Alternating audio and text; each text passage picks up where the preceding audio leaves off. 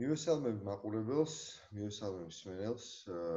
ჩვენ ვაგრძელებთ კორონას კრიზისთან დაკავშირებულ გამოწვევებთან გამოწვევებზე ჩვენს გადაცემებს და დღეს ჩვენი სტუმარი იქნება სამართლის დოქტორი, EMC-ის სოციალური პროგრამების დირექტორი კოტე ერისთავი და ვისაუბრებთ იმ სოციალურ გამოწვევებზე, იმ სოციალურ პოლიტიკაზე, რომელსაც ჩვენი სახელმწიფო აწარმოებს იმ ხალხზე, რომლებიც უნდა დაიცვას, რომელსაც სოციალური შემწეობა უნდა გამოუყოს სახელმწიფომ და იმათზეც ალბათ ვინც ამ პროგრამების მიღმა დარჩა და ჩვენი თავარი დღევანდელი შეკითხვა არის სწორედაც რომ ის რომ გავარკვიოთ თუ რა სიტუაცია დღევანდელ საქართველოში ამ მიმართულებით და იმისათვის რომ გავარკვიოთ რა სიტუაცია პრინციპში საჭიროა რომ გავარკვიოთ რა იყო აქამდე სანამ კორონამდე როგორი სიტუაცია ჰქონდა და რა როგორ როგორ შევხვდით ამ კრიზისს და თუ შეიძლება მიმართა ბატონ კოტესთან აა გამარჯობა, მოგესალმებით. მადლობა ლევან ამოწვევისთვის. ხო, ნუ ზოგადად იმენ მდგომარეობა რო არის, მე მგონი ეს ყოველასათვის ცნობილი არის, არა მარტო საქართველოში, მათ შორის განვითარებულ ქვეყნებშიც კორონა კორონათი გამო წვეული კრიზისის შედეგები ჯერ ბოლომდე არ არის ასე ვთქვათ ცხადი თუმცა ნათელია რომ სოციალური და ეკონომიკური პრობლემები მასშტაბური იქნება და რა თქმა უნდა საქართველოს საქართველოსიც რომელიც დიდწილად მომზადებელი დახვდა ამ კრიზისის უბრალოდ ციფრებით შეგვიძლია ვისაუბროთ აი 30 წლიანი განვითარების შედეგი რა იყო როგორ მოვედით კორონამდე იმიტომ კორონა რაღაც გაგებით არის ესეთი წყალგამყოფი ხო ძალიან ბევრი მიმართულებით და ამის შემდეგ გვაქვს შანსი ერთის მხრივ რომ რაღაც ახალი სახელმწიფოს შენება დავიწყოთ და მეორეს მხრივ თუ ამას არ გავაკეთებთ, თუ არ გადავიაზრებთ სოციალურ და ეკონომიკურ პოლიტიკას, ძალიან დიდი პრობლემების და გამოწვევების წინაშე აღმოჩნდებით. მაგრამ როგორ მოვედით კორონამდე, უბრალოდ როგორ მოვედით კორონამდე არის რა რა ხდებოდა კორონამდე სოციალური პოლიტიკის და სოციალური პრობლემების თვალსაზრისით, უმუშევრობა იყო ძალიან მაღალი, ოფიციალურად ეს იყო 13% და ზოგადად უნდა ითქვას, რომ დასაქმებულთა რაოდენობა ოფიციალურად არის 1.700.000 ადამიანი და მათ შორის ნახევარი არის თვით დასაქმებული. თუ სწორი მეთოდოლოგიის მეთოდოლოგიას გამოვიყენებთ და აი ამ თვით დასაქმებულების დიდი ნაწილი, 80% არის სოფლის მეურნეობაში დასაქმებული გლეხი, რომელიც რეალურად გადარჩენაზე მუშაობს და არანაირად ვერ დაარქმევ ამ ადამიანს დასაქმებულს, მას არ აქვს ანუ არის შემოსავალი და ძირითადად როგორც გითხარით, ანუ გადარჩინაზე ორიენტირებული შრომა არის, თუ ამ ადამიანებს არ ჩავთვლით აა დასაქმებულებში და არც მე ჩაითვალოს სწორი მეთოდოლოგიის შემთხვევაში, მაშინ რეალური მუშაობა სადაც 50-60%-ამდე ავა და ზოგადად გამოკითხების მიხედვით 66% თვლიდა რომ იყო უმშევარი, ხო? ანუ ესეთი ახმა ქონდა. აა ვინც მუშაობს იქიდან 300.000 ადამიანს აქვს 200 ლარზე ნაკლები ხელფასი ქონდა, აა დაქირავებით დასაქმებულთა 35%-ს ქონდა 500 ლარზე ნაკლები ხელფასი და 64%-ს ქონდა 1000 ლარზე ნაკლები შემოსავალი. ხო, სიღარიბის აბსოლუტური მაჩვენებელი იყო 20%-ზე მეტი, 2018 წელს ეს მაჩვენებელი ეწოდათ გაიზარდა კიდეც. ყოველი მეხუთე ადამიანი ანუ ცხოვრობდა 166 ლარზე ნაკლებ შემოსავალზე თვეში. და გვაქვს ქრონიკული სიღარიბის პრობლემა, როდესაც სიღარიბეში დაბადებულები ვერ აღწევენ თავს სიღარიბეს უკვე დასულ ასაკშიც, იმიტომ რომ არ მიუწვდებათ ხელი რესურსებზე, განათლებაზე, ხო ვიცით, ღარიბ და შეიძლება ოჯახებში დაბადებული ბავშვებს შორის სკოლაში მოსწრების თვალსაზრისით და ქულების თვალსაზრისით რამხელა განსხვავება 70%-ია საშუალოდ განსხვავება ქულებს შორის. და ამის საპასუხოდ ქონდა და გვაქვს სოციალური დაცვის სისტემა თუ ამას შეიძლება სისტემა უწოდოთ და რეალურად არის რაც ფრაგმენტული პროგრამების ერთობლიობა რომელიც დაფუძნებულია ძირითადად ორ კომპონენტზე ეს არის ხანდაზმულების პენსია და საარსებო შემწეობა და რომელიც ორიენტირებულია ისევ და ისევ გადარჩენაზე, რაღაცა პრობლემის გადავადებაზე, გაკუჩებაზე და არა სიგარების დაძლევაზე და გაძლიერებაზე ადამიანებს, ხო?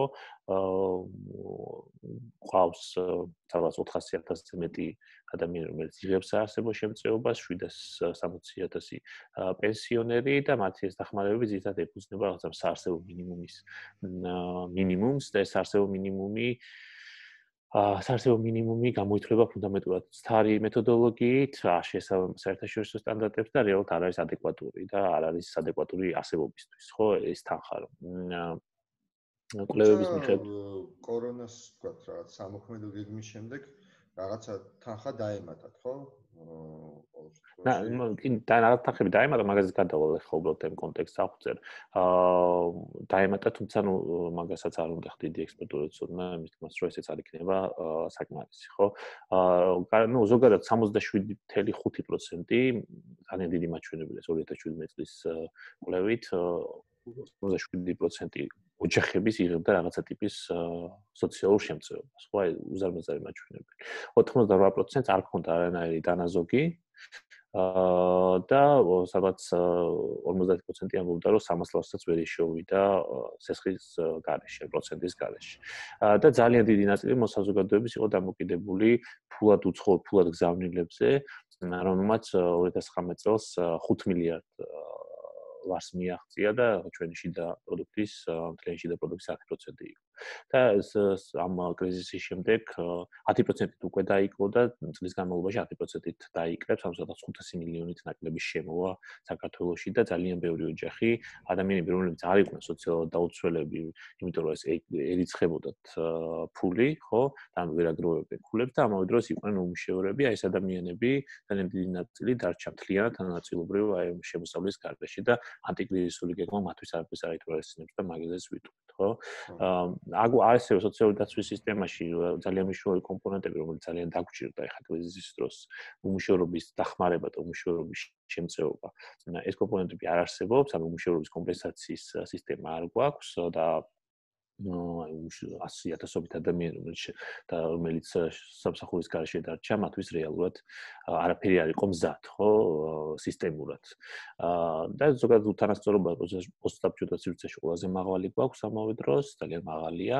აა და ხო აი ეს იყო მოცემულობა და თავის ჯანდაცვის სისტემა რომელიც საბედნიეროდ ბოლომდე მისი დატესტვა არ მოგვიწია, როგორც ბევრი ექსპერტი ამბობს, ეს ფრიალად დიწილად პრივატიზირებული ჯანდაცვის სისტემა ვერ გაუწევ ვერ გაუწლებდა იმ წნეხს, რომლის ქვეშაც ბევრი დასავლური ქვეყანა დღეს არის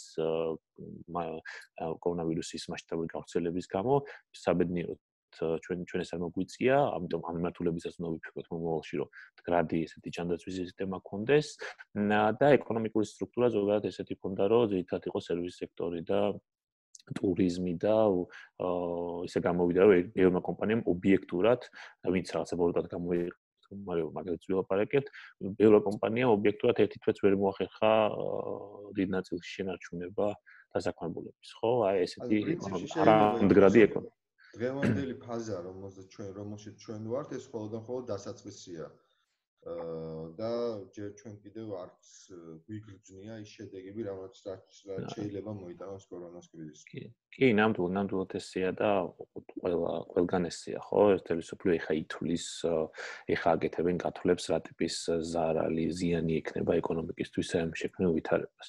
აა ხო და რა მოხდა უკვე კორონას დროს და რა მოვიდა ზედაპირზე?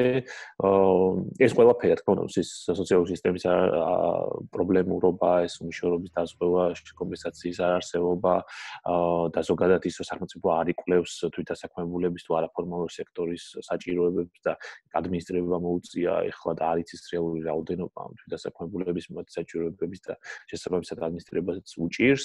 აი ეს ყველაფერი რა თქმა უნდა ამოვიდა ზედაპირზე, მათ შორის შრომის პოლიტიკა, ხო, რომ რომ კანონმდებლობის და ინსტიტუტების დონეზე უამრავი ხარვეზია, რომ დაუცველია ეს დასაქმებული ამას დიდი ხანია ვიმეორებ ვიყავით, მაგრამ ესე ერთ დროში და სივრცეში ესე კონცენტრირებულად, ხო, კორონას გამო კარგად გამოჩნდა, რამხელა რამხელა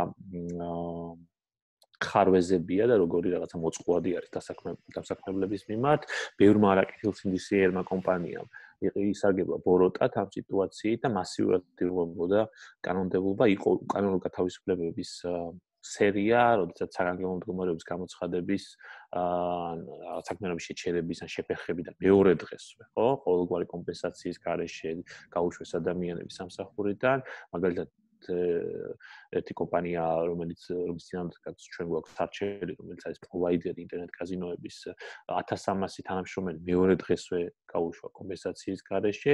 გასაგებია, როგორც ვთქვით, მეორე კომპანიას შეექმნა ობიექტური პრობლემები, არც დანაზოგი ქონდა მაგალითად და არც რაღაცა ქირა ქონდა გადასახდელი და ასე შემდეგ, ასე შემდეგ ვერ ახერხებდა რეალურად. აა თანამშრომლების გადახდას ხელფასების ანაზღაურებას, ეს კომპენსაციას, მაგრამ აი ესეთ კომპანიები, რომელიც ასე მილიონიანი ბრუნვები აქვს და უბრალოდ კრიზისის პირობებში ჟარგონზე რო თქვა, მოუჭირეს ფულს, ხო, რაღაც შეეშინდათ ფულის ხარჯვის და გამოიყენეს რაღაცა ხრელები კანონმდებლობაში და ინსტიტუტებში და უკანონოდ განათავისუფლეს თანამშრომლები, მართლაც კრიტიკის კრიტიკას ვერ უძლებს, ხო, და ამის გამო რეალურად რეალურად ფორს მაჟორულ ვითარებაში უნდა დაამტკიცო რომ შენ რაღაც მოგადგა ზიანი, უნდა დაამტკიცო რომ ვერც ხელფასი ხდი და ვერც კომპენსაციას იხდი. აა ეს არის რაღაცა ეს არ არის hires-ზე ნათქვამი რაღაც აბსტრაქტული ცნება და ცნება, ხო? ფორს მაჟორი ეს არის რეალური აა რაღაცა წინახობა, რომელიც ხელს გიშლის, რომ შენი ვალდებულებები დასაქმებულის წინაშე შეასრულო და ეს ეს არის დასასაბუთებელი. მაგრამ ნუ ის უნდა გაკეთდეს საბუჯემშილობა სასამართლოში და სასამართლო კიდე ხელმიუწვდომელია ძალიან ბევრი დასაქმებულისთვის, იმიტომ რომ იწელება ისე რომ რეალურად აზრს კარგავს სავებიან ბევრისთვის სასამართლოს მიმართვა ხო წლებზია ლაპარაკი აქ და ანუ არაეფექტური მექანიზმია შრომითი დავების გადაწყვეტის ხო? და სხვა შრომის ინსპექცია სუსტია იმ თვალსაზრისით რომ ხო თავს უსაფრთხოების დაცვას უყურებს და საბოლოო ჯამში იწევს ეს ყველაფერი მთლიანობაში იმას რომ დასაქმებულები არიან დაუცველები და ძალიან ბევრი ადამიანი 100000ობით ადამიანი დარჩა სამსახურის გარეშე. მე გარდა ამისა, ნუ დათხოვნის garaშე, დათხოვნის გარდა იყო ესეთი შემთხვევები, როდესაც თვითიზოლაციიდან ითხოვდნენ გამოსვლას, ხო, ავალდებულებდნენ ადამიანებს სამსახურში გამოცხადებას, ეს რაღაც ეტაპზე მე მოგვარდა ასე თუ ისე.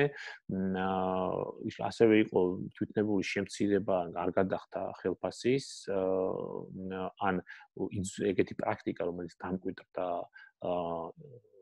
რომელსაც უკვე დაერქვა რაღაცა ყველასთვის ცნობილი გახდა. აა რაღაც ესეთი პრაქტიკა, რომელსაც ქვია იძულებით შვებულებაში გაშვება, ხო, რომელსაც არის განმავლობა და არ არსებობს იძულება შვებულებით ასე უცხოთ უფლება, რომ შეგილი აიღო, ან არ აიღო შვებულება, ესე რომ რაღაცა გაგიშვა შვებულებაში, ესეთი რამე არ არსებობს.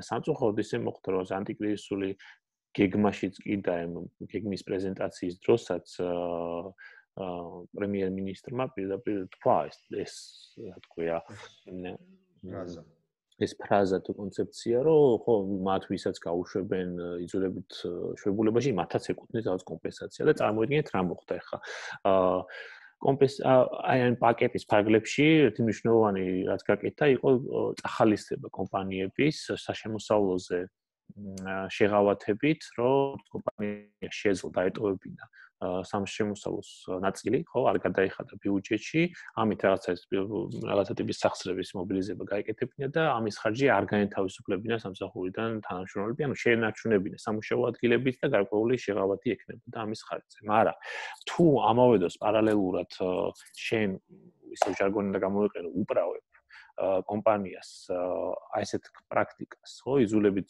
შვებულებაში გაშვებას.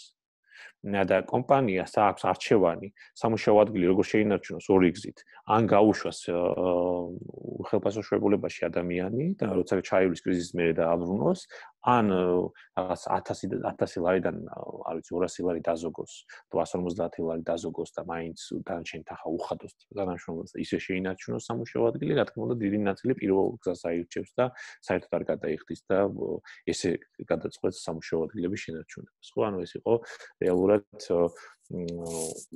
წინაამდეგობრივი ესე ვთქვათ მოცემულობა ხო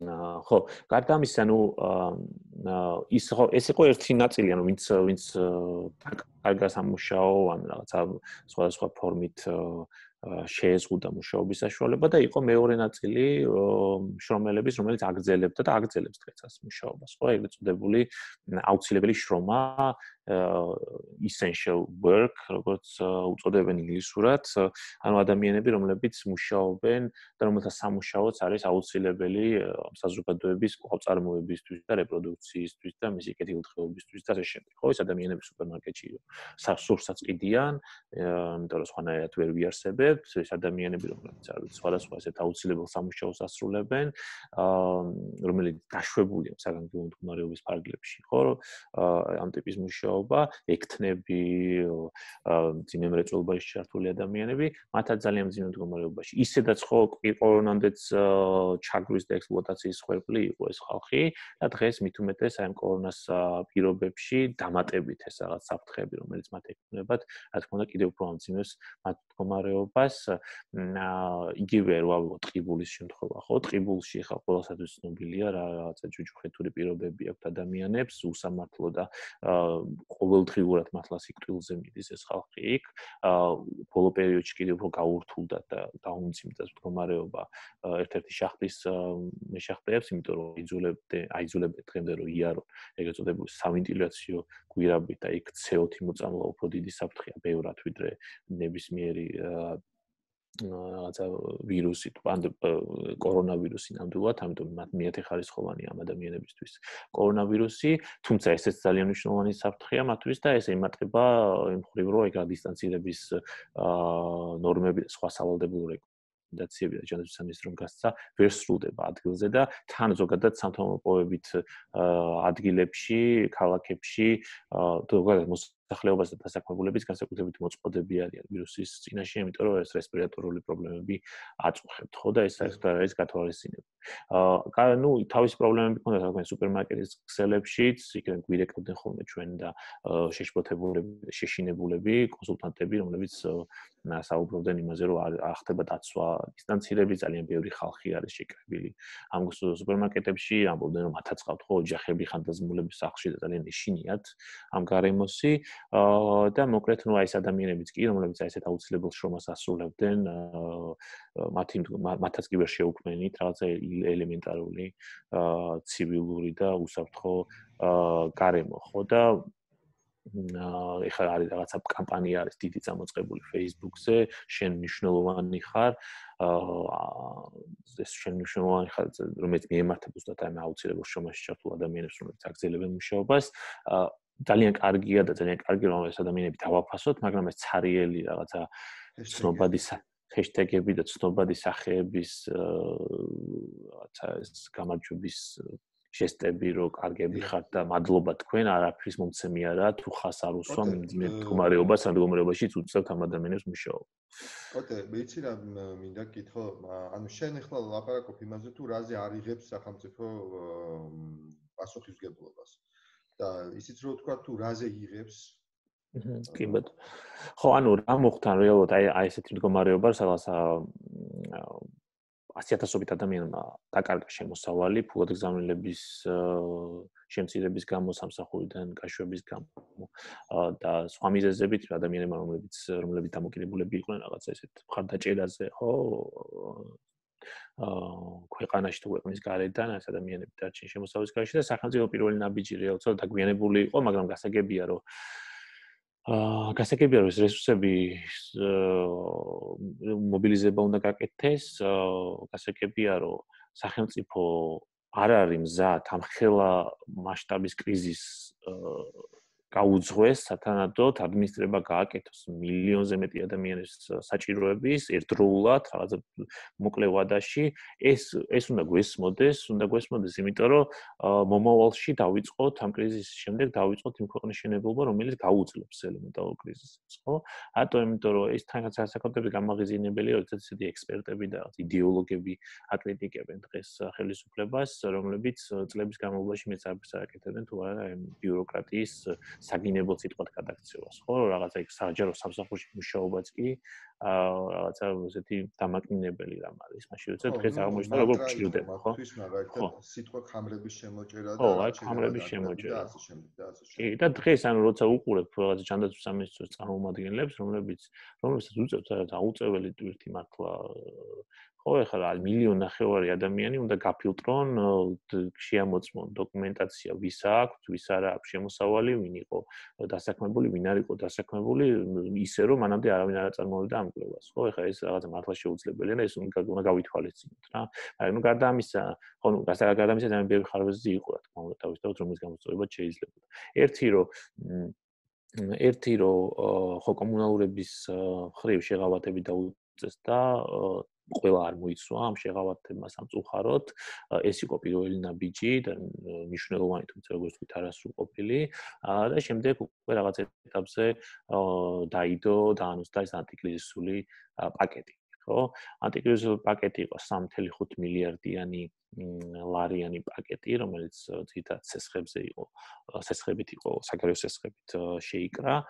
და მილიარდზე მეტი ლარი მოხმარდა მოხმარდება სოციალურ დახმარებებს და 2 მილიარდზე მეტი კერძო სექტორის მხარდაჭერას, ხო? ანუ სოციალურ დახმარებების თვალსაზრისით ეს პაკეტი ყველაზე ადვილად ადმინისტრირებადი ჯგუფი იყო დასაქმებულები, იმიტომ რომ მათ სასაშემოსავლოს იხდიდნენ და მათი შემოსავლის დაკარგვა არ იყო რთული დასადგენი და მათთვის გამოიყო 200 ლარი თვიურად 1200 ლარი 6 თვის განმავლობაში. ხო, ეხა ამასაც რაღაც როცა ექსპერტის პოზიციიდან საუბრობ ხოლმე ცოტა. აა ზოგადად ისეთი რაღაცები უნდა ითქვას, თუ თქვა ხოლმე, რომელიც საყოყნოთ ცნობილი ამბავი არ არის, ამიტომ ცოტა მეუხერხულება ხოლმე ხა იმის თქმა, რომ 200 ლარი არ არის საკმარისი, ხო? ამ ეს თავისთავად ცხადია, მაგრამ ყოველ შემთხვევაში თუ მაინც უნდა ითქვას, ხო, მაგრამ 200 ლართან შედა, მაგრამ შედარებით იმ სხვა პაკეტებთან, ხო, რომელიც მაგალითად იგივე თვით დასაქმებულებისთვის აა გამოიყო 200 ლარი კიდევ ასე თუ ისე რაღაცას რაღაც თანხას წარმოადგენს ყოველთვიური არსებობისათვის, ხო? აა ეს 200 ლარი რეალურად ისევ იმ საარსებო მინიმუმის დაეფუძნა, რომლის გამოთვლის მეთოდოლოგიაც როგორც თქვით არის ფუნდამენტურად აა პრობლემური.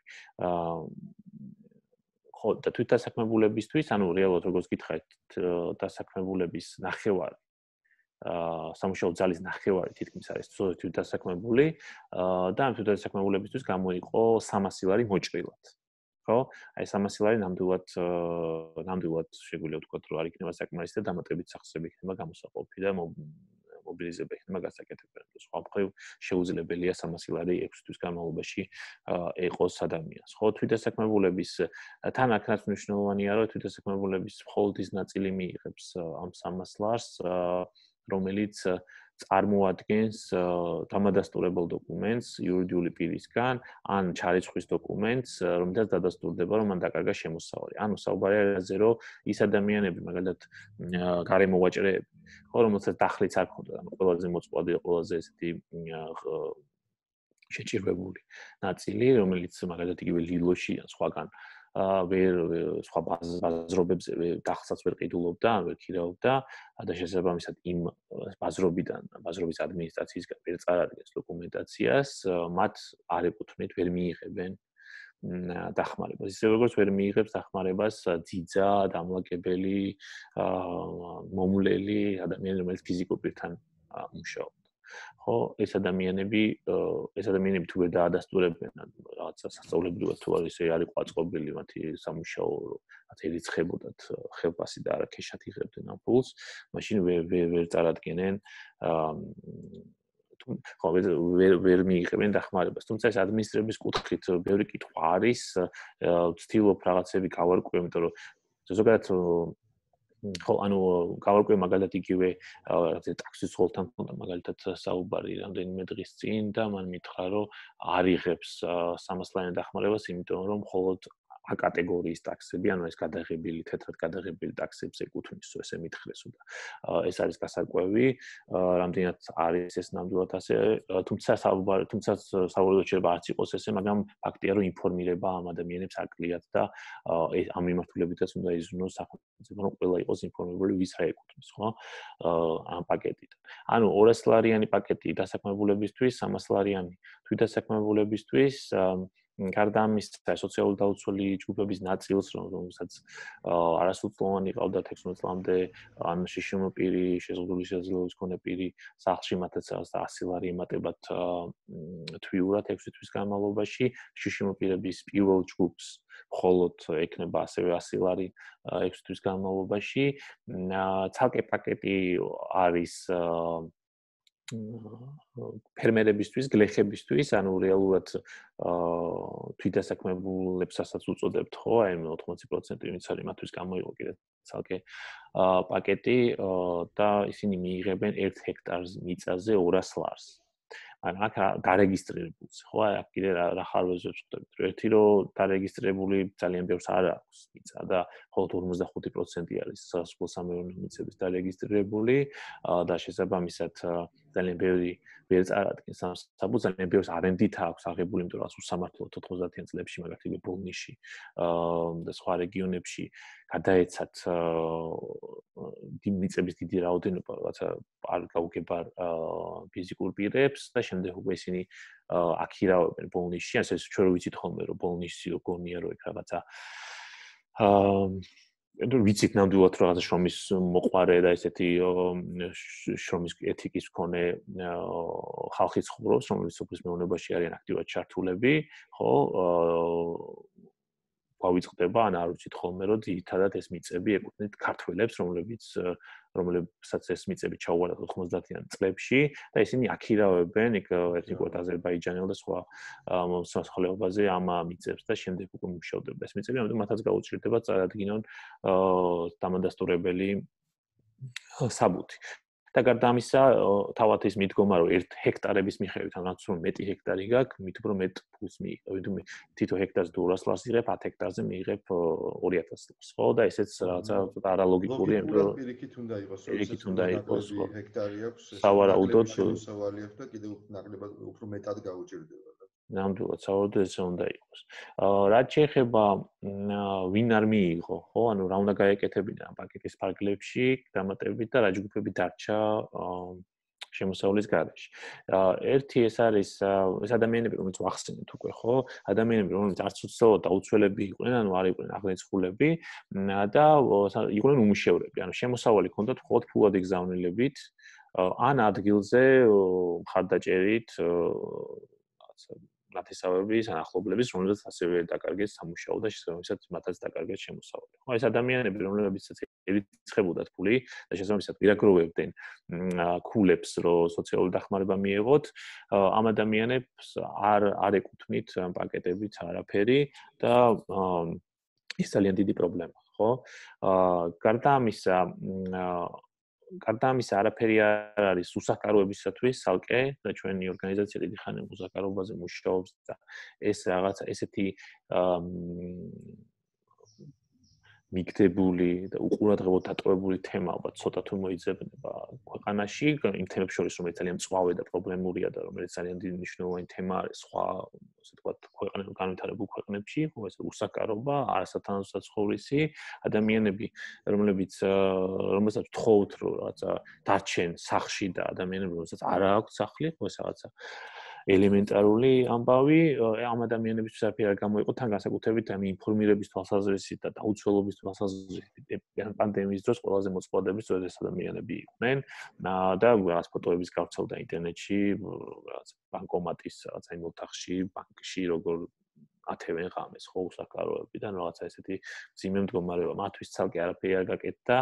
არც ინფორმირების თვალსაზრისით რაც რაღაც პროაქტიულად სახელმწიფოს მხრიდან რომ დაებინავებინათ. მეტიც თავშესაფრები კანტინში იყო შიშიმოპირების თავშესაფრებიც ბავშვების უსაკარო ბავშვების უპატრონო ბავშვების თავშესაფრებიც ამიტომ ძალიან გაჭირდა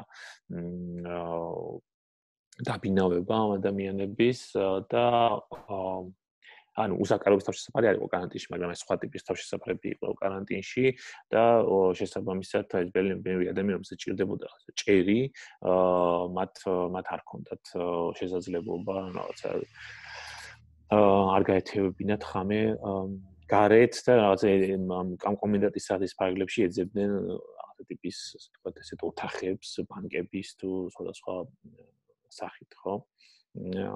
გარდა ამისა, მნიშვნელოვანი იყო რაღაცა ვაუჩერების ვაუჩერების სისტემის დანერგვა საკვებზე, წამლებზე, მოგეხსენებათ, რომ საკვებთან დაკავშირებით იმის და მიხედვით თუ რა რეგიონზეა ლაპარაკი და რა ტიპის საჭიროებაზე საუბარიან, იმის და მიხედვით თუ რამდენად იზდება ფასები, სხვადასხვა მიდგომა უნდა იყოს, ხო? თუ ვაუჩერია საჭირო იქ, სადაც მაგალითად გაზრდილია ფასები პროდუქტებზე და ამით სახელმწიფო რაღაცნაირად დაარეგულირებს ამ პრობლემას და გარანტირებულად ექნება საკვებზე წვდომა საკვების ამ პროუჩერის მიიღებს. იქ სადაც საკვების წვდომა შეიძლება გაჭირდეს, მაგალითად არის მაღალმთიან რეგიონებში, იქ კარგი იქნება თუ პირდაპირ საკვებით დაეხმარებოდა სახელმწიფო, ხო?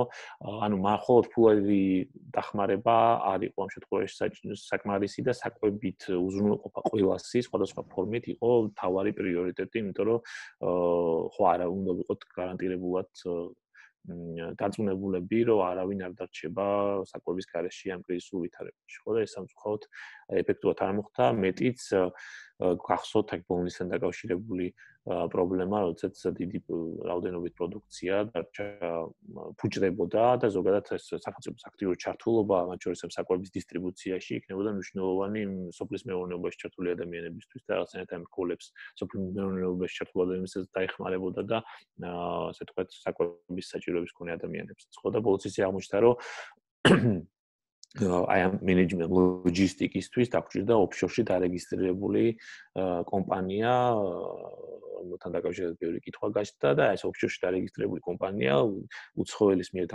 დაფუძნებული დიდწილად იყო აუცილებელი იმისთვის, რომ კიტრი ჩამოგვეტანა ბონუსიდან, ხო? ესეც ესეც ესეც შედეგია აი 30 წლიანი განვითარების და ამ კანონების შემოჭერის და ამ სახელმწიფოს დაგმინების და რაღაცა სახელმწიფოს ჩაურევლობის ეკონომიკაში და სოციალური პოლიტიკის მხრივ მის პასიურობაში და ასე შემდეგ. ხო? პასიურობის ხო ეს ყველაფერი შედეგი.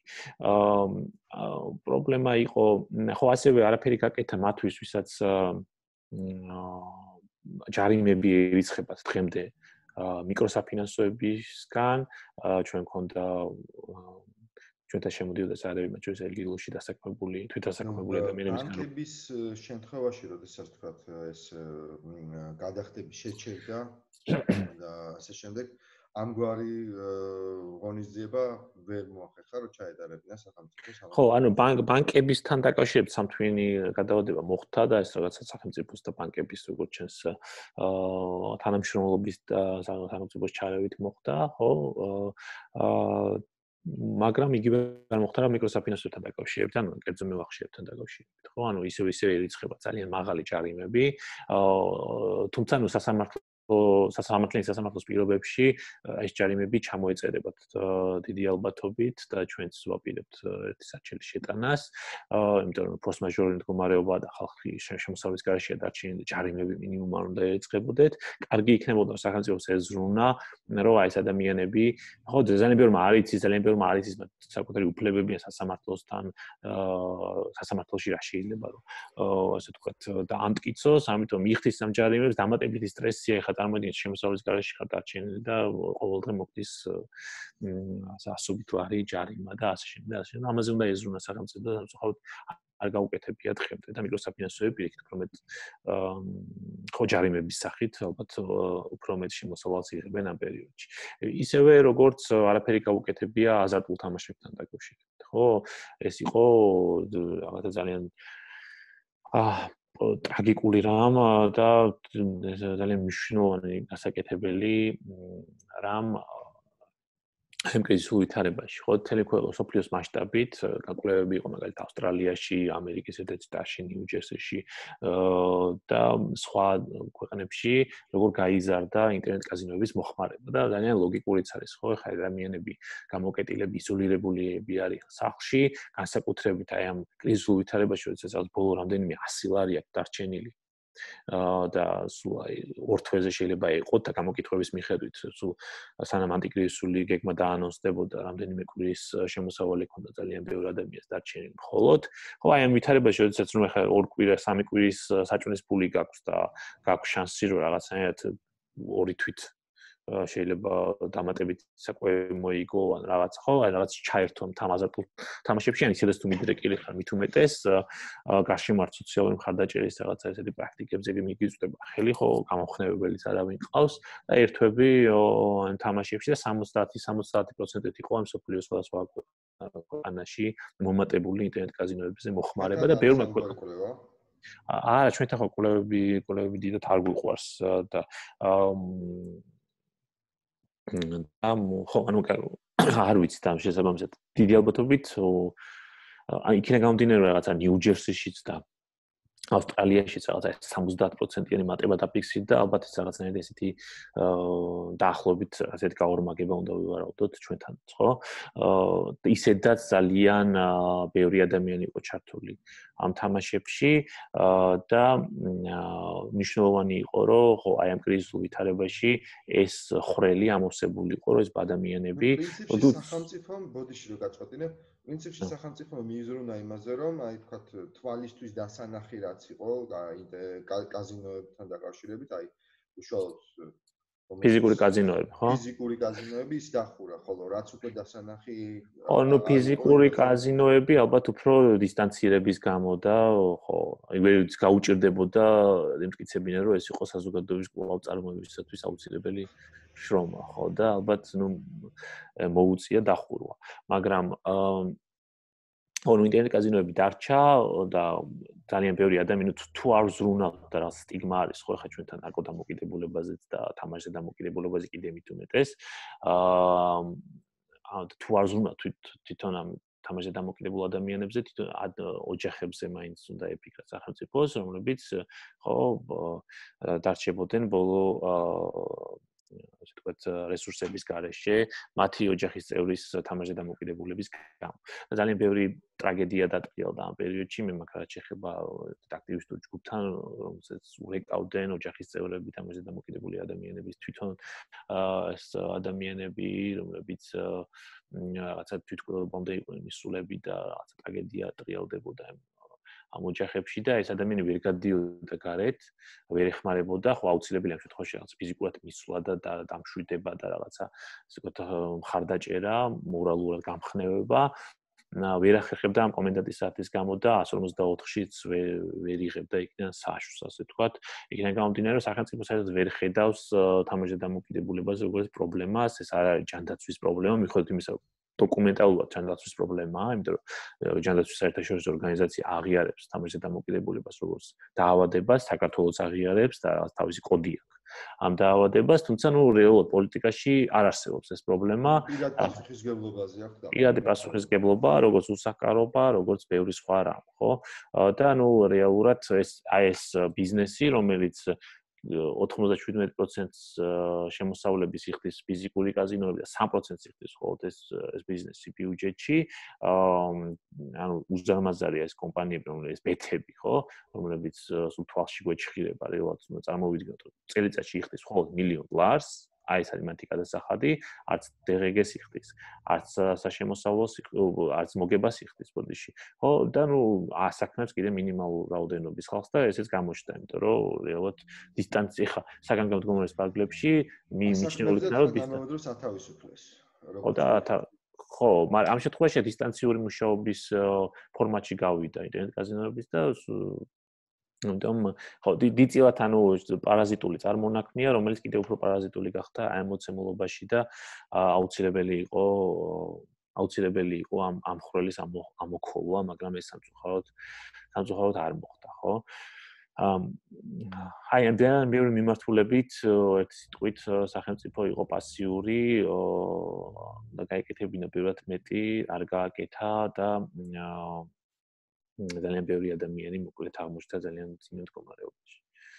ახო, გარდა ამისა, მნიშვნელოვანი იყო ახსრულების თვალსაზრისით, ხო, ეგ შეჩერდა ახსრულება გამოსახლების და ეს ძალიან კარგია რომ ესე მოხდა, თუმცა უნდა აღინიშნოს, რომ რიგ შემთხვევებში მევახშეები აა თავად თვითნებურად მიდიოდნენ ადგილზე და ცდილობდნენ გამოსახლებას ადამიანების, ხო და შემდეგ უკვე ხოლმე აქტივისტური ჯგუფების აქტიურობით მოხდა ის, რომ ეს გამოსახლებები შეჩერდა და დაწუნებული ვარ ძალიან ბევრ ოჯახში უბრალოდ იქიდან გამომდინარე, არც არავინ ყავთ აა დამხმარე და არც იციან ვის მიაწვდიონ ხმა, ძალიან ბევრი ადამიანი ადამიანმა დატოვა მევახშის ფიზიკური თუ ფსიქოლოგიური ზეწოლის შედეგად სახლი აი ამ პირობებშიც კი, იმიტომ რომ ისევ და ისევ არანაირი რაღაცა სერვისი, მხარდაჭერითი სერვისი არ არსებობს სახელმწიფოს ხო?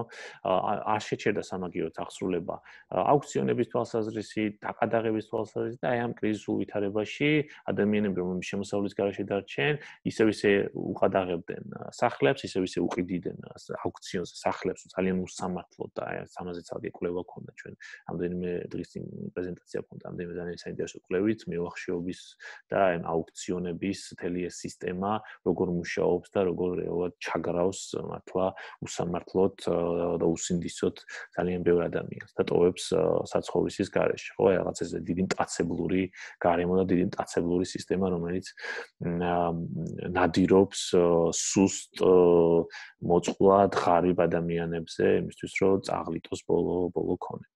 ანუ ამ თვალსაზრისითაც აღსრულება არ შეჩერებულა და წარმოვიდგინოთ, რომ როგორც კი როგორც კი საგანგებო მდგომარეობა ჩაივლის და გამოსახლებაც გახდება დაშვებული, ძალიან ბევრი ადამიანი დაკარგავს სახლს, ხო? და ამაზეც აგრესიულად იმოქმედება. მეවත් უფრო აგრესიულად და სახელმწიფოს ამაზეც არ ექნება პასუხი, იმიტომ რომ უსაკავებასთან ბრძოლის პოლიტიკა არ აქვს, არ აქვს ადეკვატური სერვისები, აა სახელმწიფო სკუჩაში დარჩენილმა ოჯახმა მეરે უნდა ამტკიცოს, რომ არის უსახკარო და ეკუთვნის მაგალითად ქირით გადახდა, ქირის გადახდა, ხო? ან ეკუთვნის თავშესაფარი და ასე შემდეგ. ხო, მეરે უნდა ამტკიცოს ეს და ამტკიცოს, რომ ბოლო 6 თვის განმავლობაში არ იყო საზღვარგარეთ ნამყოფი, უნდა ამტკიცოს, რაც გაუგებარი კრიტერიუმები უნდა და დააკმაყოფილოს იმისთვის, რომ ელემენტარული სერვისი მიიღოს როგორც უსახკარო. ხო, მოკეთ დიდი სოციალური კატასტროფის წინაშე ვარ, საფრთხის წინაშე და ეს არის რაღაცა წყალგამყოფი და გარდამტეხი. რა ან ახლა ვიწყებთ ჩვენ სოციალური სახელმწიფო შენებას, რომელსაც შესაბამისი ეროვნული ინტერესებზე მორგებული ეკონომიკური პოლიტიკა სჭირდება, ან ჩვენ ვდგება ძალიან დიდი პრობლემების წინაშე და უნდა ველოდოთ რაღაცა სხვა მიმართულებებით სახელმწიფოს გაძლიერებას, უფრო რეპრესიულ სახელმწიფოს, რომელსაც მოუწევს რეპრესიული აპარატების გამოყენება, იმისთვის რომ აკონტროლოს კიდე უფრო გაღარიბებული და კიდე უფრო უთანასწორო საზოგადოება, სადაც ძალიან დიდი საფრთხეებია დესტაბილიზაციის. ხომ ამ ამ ადამიანებს გასაგებია რომ საგანგებო მდგომარეობის პერიოდშიც რიგ შემთხვევებში გაუჭირდა ეს ამის მართვა, მოგონიში ვნახეთ გამოსვლები და დიდხანს რო გაგრძელებული იყო ეს მართლა შიმშილის პირას მისული ხალხი ხალხის მართლა ძალიან გაუჭირდებოდა, მაგრამ არ უნდა წარმოვიდგინოთ, რომ საგანგებო მდგომარეობის გასვლის შემდეგ რაღაცა ავტომატურად აღდგება ყველაფერი და დაუბრუნდება თავის კალაპოტს. ხო, რა თქმა უნდა, ეს არ იქნება ძალიან ნავარაუდებია, რომ 4%-ით შემცირდება ზრდა ეკონომიკური, ნავარაუდებია, რომ 800-900000 ადამიანი დაკარგავს ან კარგავს ან დაკარგა უკვე აა შემოსავალი. აა მოგეხსენება ტურიზმის თვალსაზრისით, ხეთ დიდი ხანს არ უნდა ველოდოთ რაღაც ბუმს აა საქართველოსში, სხვა არაფერი არ იწარმოება ამ ქვეყანაში ისეთი რომელმაც შეიძლება ფეხზე დააყენოს ჩვენი ეკონომიკა, ამიტომ ამიტომ ამიტომ უნდა ველოდოთ დიდ გამოწვევებს და უნდა აა ვეცადოთ რომ ეს იყოს ძალიან დიდი აკვეთილი მომავალში თუ საით რამათულების უნდა ვიაროთ. 30 წლიანი გამავითარების შედეგი იყო ის მომზადებლობა როგორი მომზადებელი დავხვდით ამ კრიზისს, ხო? რადგან ვილაპარაკეთ დასაწყისში და მომავალში უნდა დავიწყოთ შენება ქვეყნის, სადაც რაღაცა უმუშევრობის დაზღვევა, უმუშევრობის კომპენსაციის სისტემა იარსებებს, ნორმალური გამართული სოციალური დაცვის სისტემა იარსებებს, სადაც ჯანდაცვის სისტემა არ იქნება კლიენტ პრივატიზირებული და არ ვიქნებით აა რაღაცა მთლიანი კოლაფსის საფრთხის ქვეშ თუ რაღაც ესეთი ეპიდემია გავრცელდა, ხო? და სხვა სოციალური სისტემები ფუნქციონირებს და იქნება გამართული საჯარო ინსტიტუტები გვექნება და არ მოგვიწევს ორ კვირაში მილიონი ნახევარი ადამიანის გადახარისხება და იმის გამო კვლევა ვის რამდენი შემოსავალი ქონდა და ვინ ამდენი დაკარგა ხო ეს ყველაფერი უნდა ვიცოდეთ წინასწარ. ხო? და ასე შე. პრინციპში ჩვენ უნდა დავასრულოთ ძალიან საინტერესო იყო შენთან საუბარი და ამავე დროს ინფორმატიულიც და მეც ასევე გავიზიარებდი შენს იმედებს, რომ ეს ჩვენთვის გაკვეთილი იქნება და ის შეცდომები, რომლებიც ჩვენ დიდი ხნის განმავლობაში დაუშვით და უშვებთ ჯერჯერობით, კიდევ აღარ განმეორდება და რაღაცნაირად დაგვაფიქრებს ამ ყველაფერზე და გადაგვააზრებინებს თვითონ მთელი ჩვენ სახელმწიფოს მოწყობის შესახებ ჩვენს მოსაზრებებს. დიდი მადლობა კიდევ ერთხელ და მადლობა ლევან დიდი. წარმატებები. კარგად.